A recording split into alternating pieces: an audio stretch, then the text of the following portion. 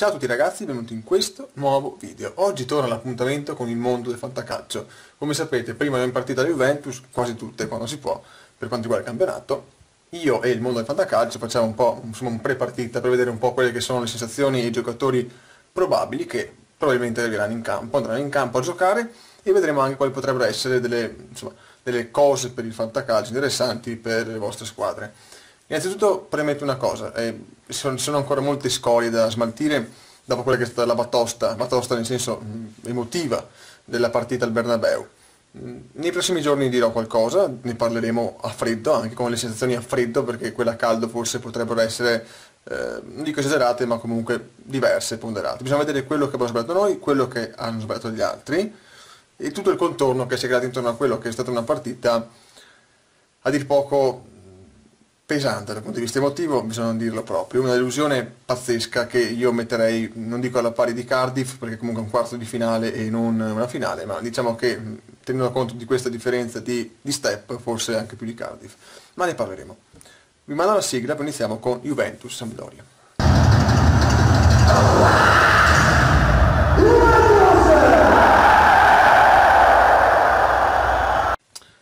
Juve che ospita quindi la Samp in casa, allora in campionato sappiamo che eh, ovviamente c'è veramente, siamo agli sgoccioli. La Sampdoria è una squadra che è iniziata molto bene per quanto mi riguarda, poi si è un po' persa ultimamente, ha fatto un risultato, un pareggio nel derby della Lanterna, quindi contro il Genoa 0-0. La Juventus invece è un po' più ottimista per quanto riguarda il campionato, bisogna vedere come, quella che sarà la reazione eh, dopo quella che è stata la sconfitta eh, ai quarti di finale in Champions.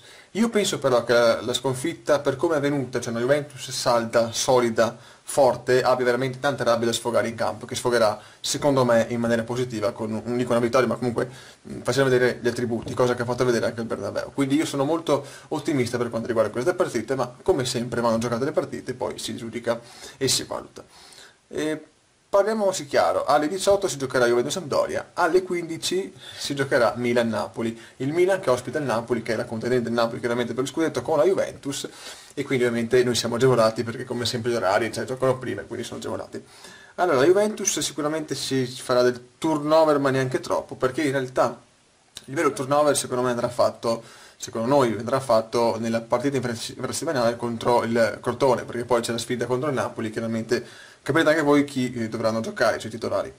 Eh, però questa è una partita che comunque vedrà qualcuno diverso dal solito, perché? Perché bon, veramente speso tanto dal punto di vista fisico e emotivo l'ultima partita e bisogna un po' dotare le forze per arrivare alla fine della corsa tutti interi integri.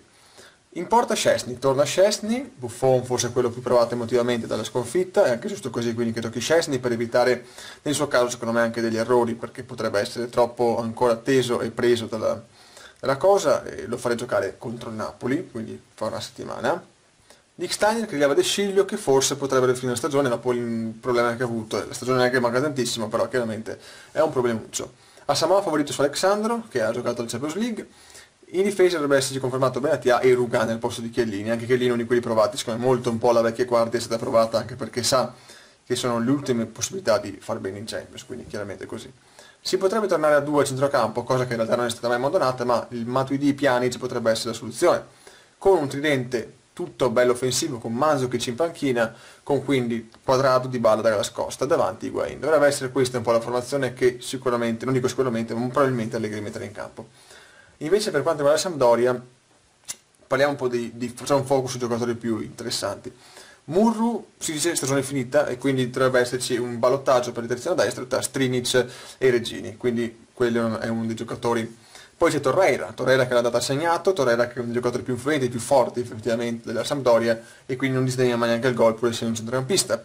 E infine abbiamo il ballottaggio solito tra Caprari e Ramirez per quanto riguarda insomma, tre quarti, due giocatori quindi che stanno un po', insomma, che stanno un po' contendendo questo posto e infine c'è Quagliarella davanti.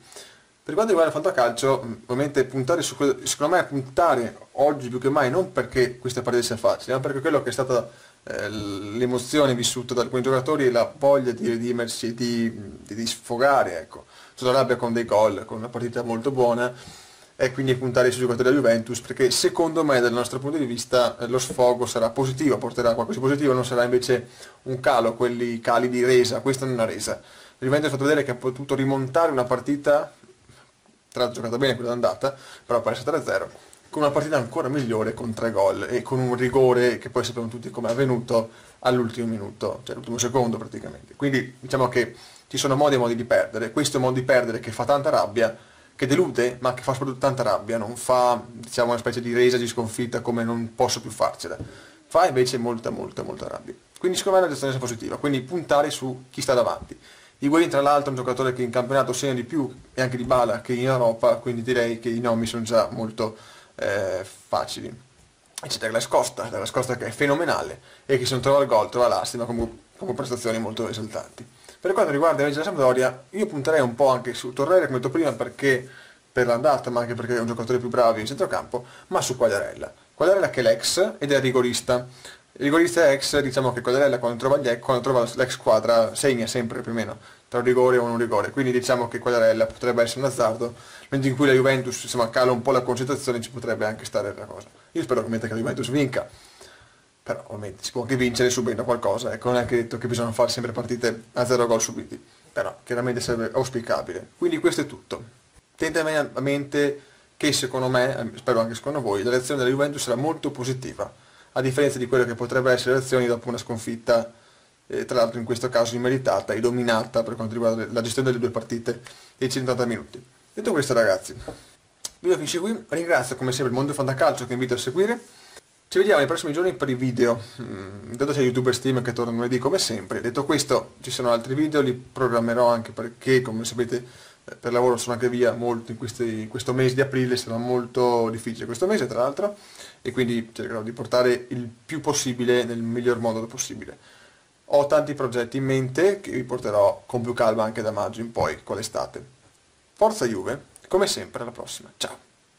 Paura!